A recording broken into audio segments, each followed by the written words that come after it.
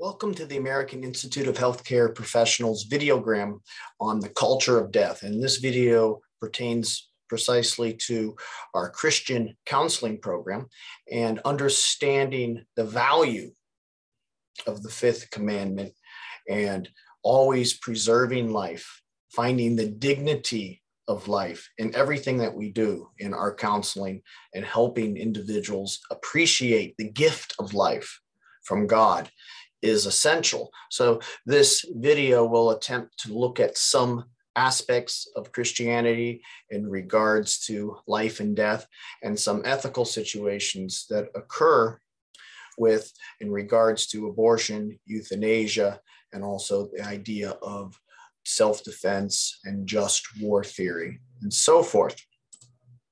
So what is the culture of death. And it was coined by Pope John Paul II in his encyclical Evangelium Vitae.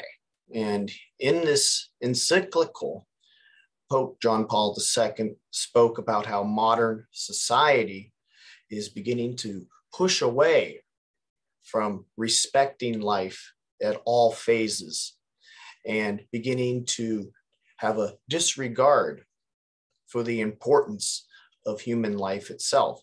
And this isn't just in Western society, but globally. And we see that there is a lack of respect for life. And historically, that has always been the case as long as evil has existed. As long as the first murder existed between Cain and Abel itself. But the Pope, especially the former pontiff who's now deceased, he especially emphasized in Evangelium Vitae, the issue of abortion and euthanasia. The biggest thing that I think concerned the pontiff was how right and wrong, moral objectivity was being lost. And with regards to the means justifying the ends for whatever we need to do, whether a human life is in the way or not and reducing human beings to objects. And that's an object that we bought or sold, created in a lab, or rejected if conceived.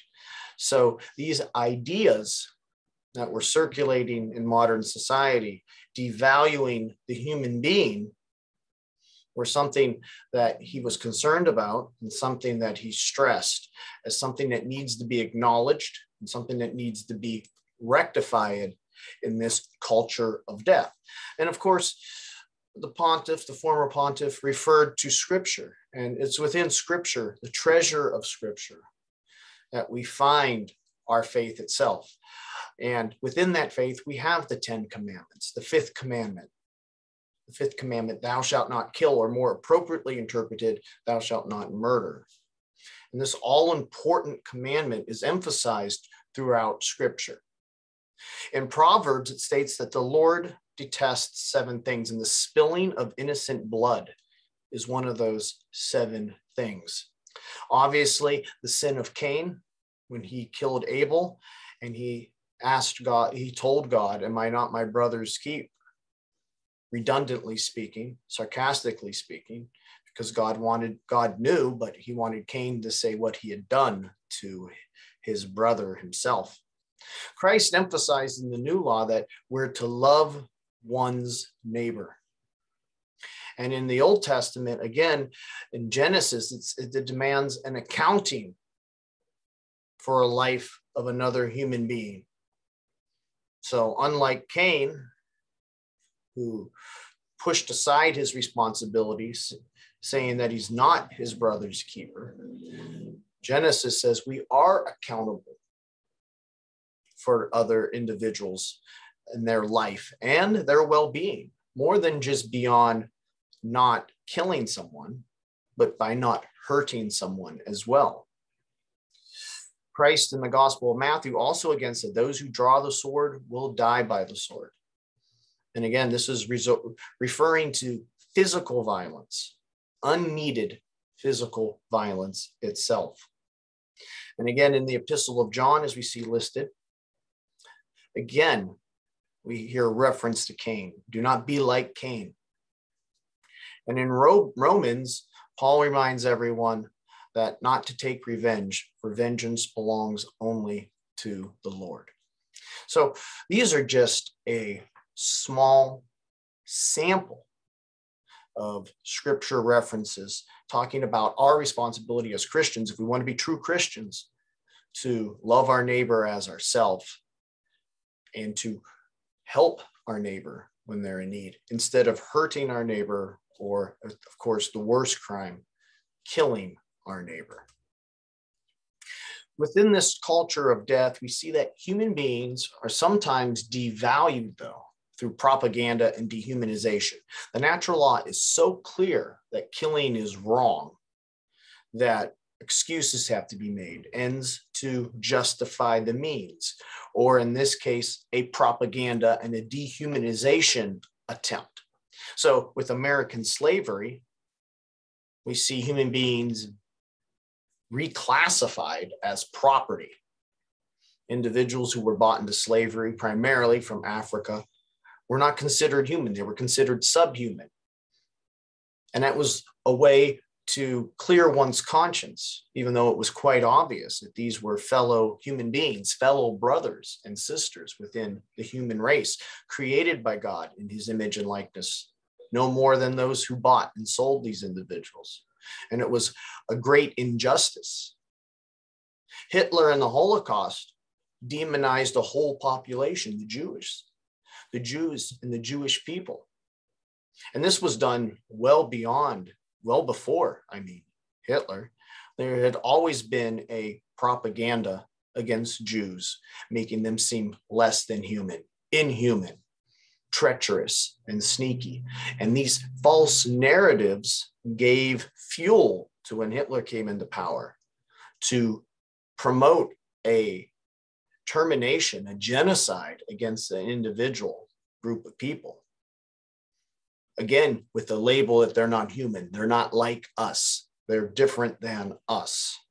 And again there we see that propaganda and that dehumanization. Abortion the fetus is not human. And that's the most simple one that we can think of. Really the fetus is not human. So if the fetus isn't human it's not murder the fetus isn't human then i can go to bed at night even though i had an abortion that's the thinking within someone who has an abortion, or maybe someone who performs an abortion. They choose not to look, they choose not to accept the reality because the reality is too terrifying to know that they would then have to admit that their hands are filled with innocent blood. No more different, no more different than those who had held slaves who didn't want to admit that they had killed slaves or owned another human being. They didn't want to face that reality unless they were true sociopaths. Sexual trafficking is another example that we have where human beings are treated like objects to be bought and sold, kidnapped, and used for other people's gratification and amusement. And this objectification of individuals for sex objects are a, strong uh, are a strong breaking from what the fifth commandment commands of us itself. So while our Constitution was created to treat all equally, it has failed numerous times to allow everyone to have that pursuit of life and happiness through slavery and now abortion itself, the killing of the unborn. And over 61 million children in the United States have been murdered since Roe v. Wade. And worldwide, 40 million children are murdered each year. And Old English law, if you look at old case laws and such, Old English law always saw abortion as wrong. And that was what foreshadowed our own laws in the United States before the before the abortion uh, was legalized. In fact, you could be tried for killing two people if you killed a pr- pregnant woman or you injured a pregnant woman and it caused miscarriage. And in some cases, in some laws in the United States, you can still be charged for causing a miscarriage, which seems like a contradiction since the highest court in the land has deemed that a fetus is not human or deserving of constitutional rights. So abortion dehumanizes. The child is seen not as a human, but as an inconvenience. And isn't that why most individuals murder? Whether they're jealous or something is one thing, but most of the time, individuals kill because of an inconvenience. This person is in my way, stopping me from doing what I want to do. So, pregnancy can be a major inconvenience. So, how can we remove that inconvenience? Murder. And why not legalize it? But the term murder isn't used because it's too powerful of a word, it's too true of a word for the situation. Instead, termination of pregnancy to lessen the shock value on the poor woman who might be misled who goes in. While many of these abortion doctors know very well what's going on because they've performed so many abortions and they've seen the little hands, the little feet, the face, but yet they still do. So, if not human, what is the fetus? And that's a question that abortionists really can't answer. They like to say it's a bunch of cells and so forth, but it's still our cells. So I guess for terms of regards to a counter abortion argument, I would like to talk about change in identity real quick for those of you out there. Uh, when the Western philosophers, the ancient Western philosophers looked at change, there were individuals who saw change as something that made something different no matter what. Change uh, wouldn't allow you to be the same no matter where you were. One day you were different. A river flowing wasn't the same river. You, the individual, wasn't the same individual because of change. So they looked at change and permanence. And if you were constantly changing in a state of flux, as Heraclitus taught, then you couldn't be stable. And then you had the ideas of uh, permanence, which taught that everything that seems the same is an illusion because there's only change. Fortunately, we had Socrates, Plato, and Aristotle who taught that change is a change is an alteration of your attributes, characteristics, while the permanence is the substance of who you are. So when we look at uh, oak tree, how different is it than the acorn? And the acorn is the same as the oak tree, but the physical accidental attributes that make them look the way they do are quite different. However, the substance or the essence of it is still the same. So the acorn is the mighty oak, but at a different phase. Likewise, if you looked at a picture of yourself as an infant to a toddler to an adolescent to a young adult to a middle aged individual to well into your elder golden years, you do not appear to be the same. The accidental qualities alter, but you're still the same person. And that goes on to whether or not you're in the womb or out of the womb, you're still the same person. So if you were in your mother's womb as a and you were classified at that point as a fetus, you're still human. You don't magically become human at one point. You weren't something else. In essence, you were what you were. Quite accidentally different, but still the same person as you were. So the idea that a fetus isn't human defies common sense. It can only be one thing, and that is human, but at a different state of development. And states of development do not determine whether one has a right to live or not. Every state of development has inalienable rights to exist. You're charged with the same crime if someone was to kill a child or kill them as an old person. It's the same crime same crime should also be in the womb. But it's so much easier when the child is shielded by the mother's womb inside the stomach, underneath the clothes, unseen, unheard, except for maybe a sonogram or quick kick. Individuals want to ignore that. Again, dehumanizing. And that's why those who truly know what is in the womb are truly held accountable. And I don't want this to be a religious discussion. It's it's science, it's biology, it's it's common sense. You don't have to believe the scriptural verse that you were knitted in the womb, although it's a correct statement. You don't have to be a Christian to be anti abortion. You just have to be a human being with logical sense who understands science itself. And that's why it's so amazing to me that this genocide still occurs in today's world. With abortion, though, because it's wrong, many women experience depression and guilt who have successful abortions because it's unnatural. It's unnatural for the mother to turn on the child. It's unnatural to think that the child is a parasite, as if it's not a natural occurrence throughout the evolution of the human species. It's unnatural to separate the child from the mother's womb through artificial procedures that aim to kill the child.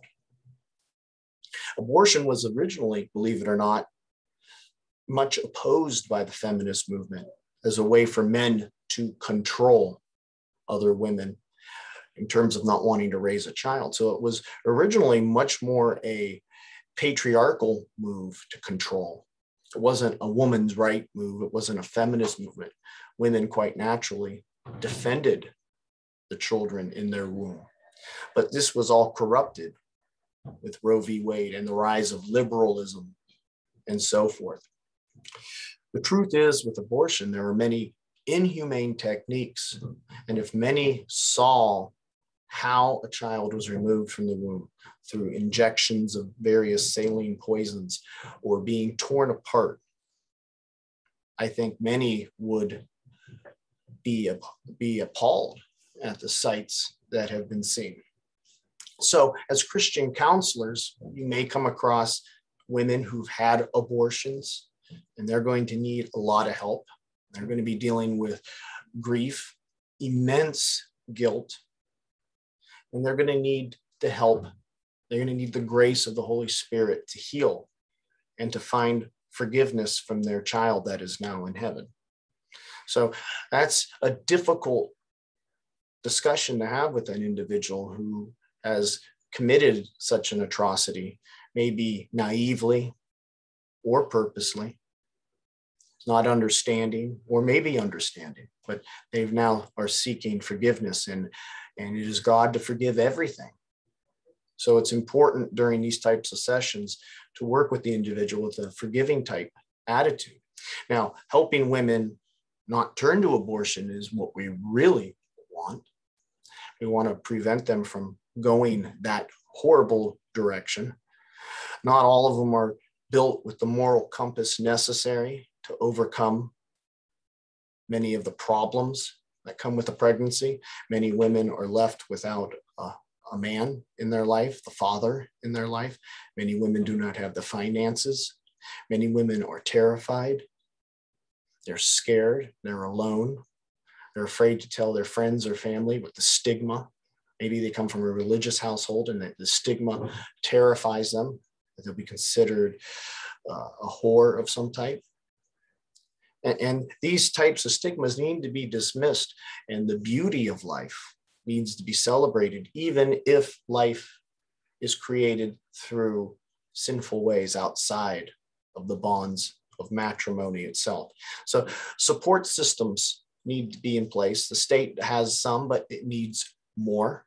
There needs to be less judgment on these individuals. We have to understand what they're going through, the fears that they're experiencing, and we have to hold others accountable. Fathers have to be held accountable. Many fathers are pushing the abortion, but they have to be held accountable by the state. And of course, sometimes it's a little too late after uh, the DNA testing is much later. But there are ways retroactively to come back at individuals who are deadbeat dads who are not accountable. So you just can't blame the woman who's going through immense pressure, fear. It's also society as a whole. It's also the fathers who don't want to play a role in the pregnancy. And it's also becomes a point where some Christians start to cast stones at these women. I think the true villains are the abortion facilities. True villains are the abortion doctors who do this for money and they take these poor women and confuse them. And those are the ones that we need to direct our ire at. These doctors who execute children for money themselves. There's been a term also uh, being pro life, not just pro birth. And I think that's something Christians have to remember that we can't just forget the child after child is born. So many individuals say, well, it's on you now. But there needs to be more social support for single mothers so that they know if they go to term that there's going to be support, that there's going to be help.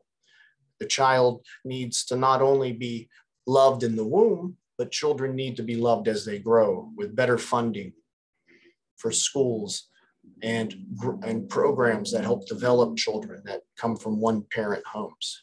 And tax money needs to be put into that. So we have to be not just pro birth, uh, pro uh, life, I mean pro birth, but we also have to be the pro life of the entirety. And that's I think going back to the culture of death. Culture of death just looks at maybe one aspect, or it looks at individuals not having value. The individual carries value from the day of conception to the day of death, and the person deserves dignity. So if you're just concerned about being pro life, and you're more just concerned about the birth and then afterwards you walk away or you don't think the state should help these individuals then you're part of the problem as well and you need to rethink your christian values in terms of helping others life is important from the beginning to the very end itself now of course there's difficult circumstances incest cases of rape and so forth and these are difficult cases. All I would like to say on that is I'm glad I wouldn't be walking in those particular shoes. But in the end, it's still a life. So I'll leave it just at that because I find it to be a very ethically muddy situation, muddy waters, unclear.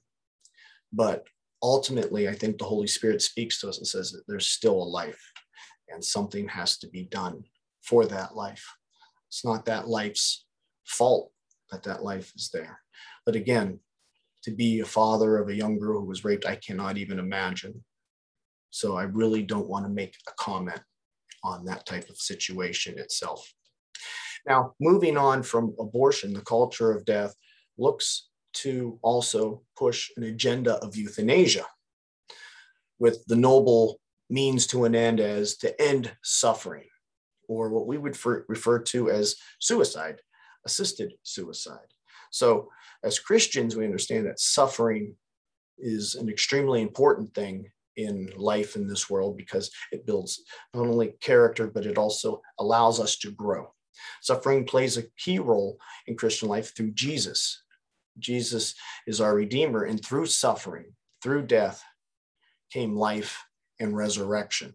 So there's a real redemptive value between suffering when we unite our crosses with Christ. Our sacrifices alone are insignificant, but when we unite them with Christ, they carry value.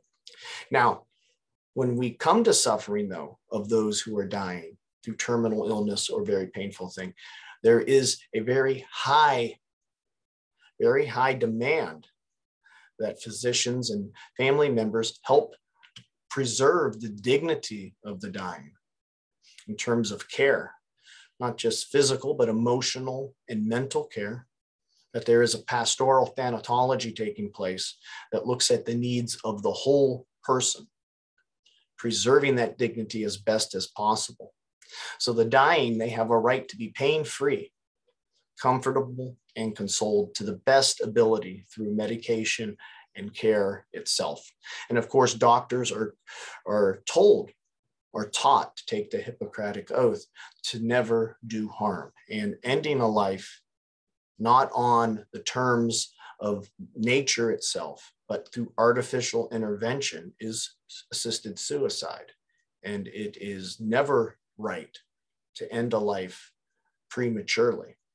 Now, there are obviously situations that are not ending a life prematurely, but are concepts that deal with our dignity as human beings. So we have certain situations called ordinary and extraordinary conditions. An ordinary condition involves an individual who is suffering and probably terminal. And they, under these ordinary circumstances, are giving ways to maybe cure oneself or to prolong life through proven medications and procedures. They're time tested.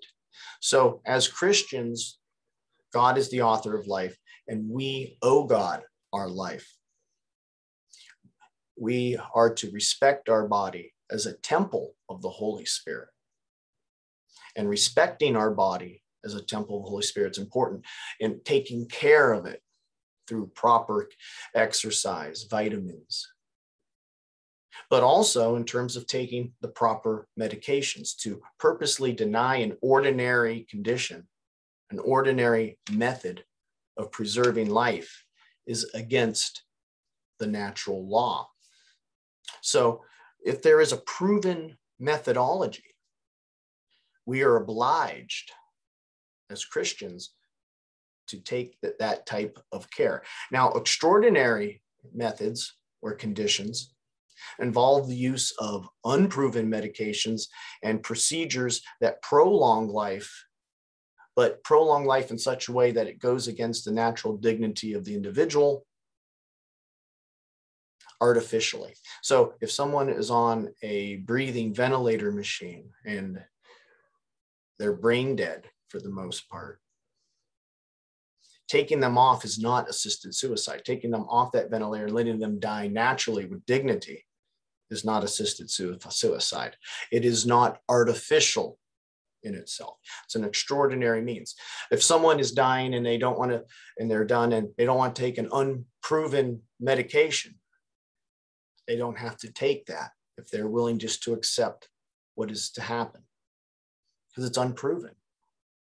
So these are examples of extraordinary cases and so forth, and allowing the time that's given to go naturally and to allow God to take us when He wishes to take us. God does not wish us not to take proven scientific medical procedures, but unproven in extraordinary situations, you're allowed to die with dignity. It's not assisted suicide in these cases as you accept your role, your suffering. Now, are you to say no to possible pain medications that could make you less uh, lucid? No, you are definitely allowed to take these types of medications as long as you make your peace with God beforehand and you receive your necessary spiritual guidance and allow the medications then to ease the suffering. You don't have to purposely endure suffering like some of the saints. If there is something to take, you are more than permitted to take it if you are in a terminal situation. Again, dignity to reduce pain and so forth. So I think it's important to understand these ordinary and extraordinary conditions. And it's also important for individuals to have a living will that if something were to occur, something was to happen, then they're able to better communicate what they want with others so others aren't making a decision in an extraordinary condition of what the outcome or the future is in regards to what they want. So that's something really to think about. So with abortion and euthanasia, that's obviously murder. But there are times when a life of a neighbor is taken. that burglar who comes in the middle of the night that attacks us, or on the battlefield when an, opposing soldier comes with a bayonet.